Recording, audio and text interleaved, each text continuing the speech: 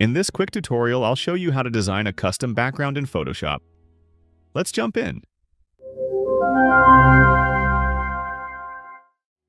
First, go to File and click New to create a new document. I'm naming the document Custom Background. Use the same document settings shown in the tutorial, then click Create. Now select the Paint Bucket tool. Open the color picker and choose any color you like. I'm choosing black. Then click OK. Click once on the canvas to fill the background.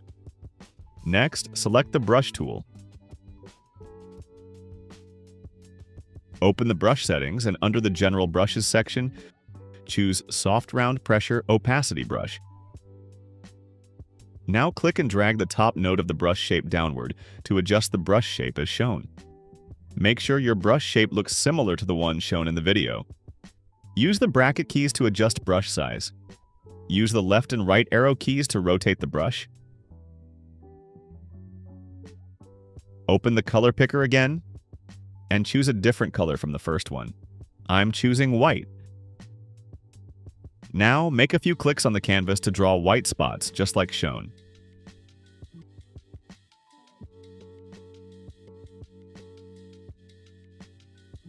Press Ctrl and J to duplicate the background layer. Convert this duplicated layer into a smart object. Go to Filter and choose Liquify. Make sure the Forward Warp tool is selected. Set the pressure to 100 and enable pin edges. Now drag and distort the white spots as shown in the tutorial.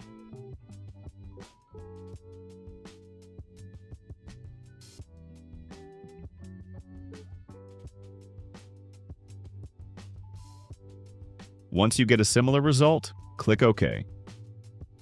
Press Ctrl and J again to duplicate this layer. Double-click on Liquify under the new duplicate layer to open its Liquify window drag and distort the shape slightly differently than before for the new duplicate.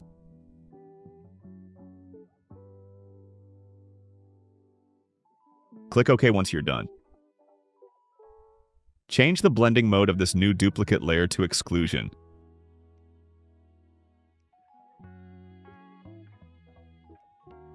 Now we need to remove unwanted parts. Click the Layer Mask button to add a mask to the new duplicate layer. Select the brush tool. In the general brushes, choose Soft Round Brush. Make sure the layer mask is selected and the brush color is set to black. Now brush over and erase unwanted areas as shown.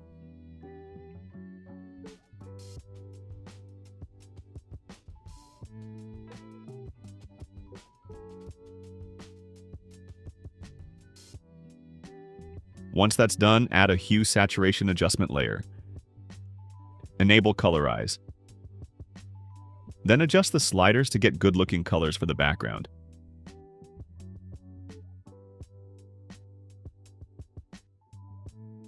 I feel there are still some unwanted areas, so I'm selecting the layer mask again and erasing a bit more using a soft round brush.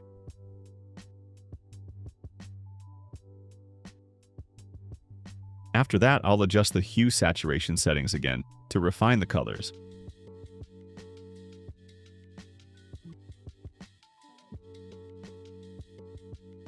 Now add a curves adjustment layer. Adjust the curve as shown to increase the contrast.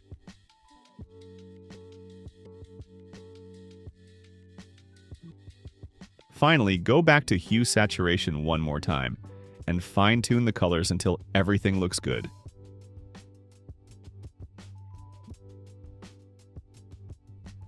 I think this looks good now. That's it. You've learned how to create a unique custom background in Photoshop. If this helped you, don't forget to like, comment, and subscribe.